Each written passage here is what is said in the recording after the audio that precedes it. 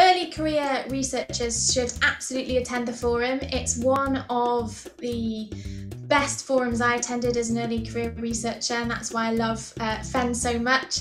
It brings people together from all over the world, and really it's the diversity in the programme that FENS offers. It's provided me with some fantastic careers advice uh, over the years, but also the opportunity to talk about science in both formal and informal settings. And I think we learn a lot from each other when we're able to have those informal discussions as well as more formal conversations.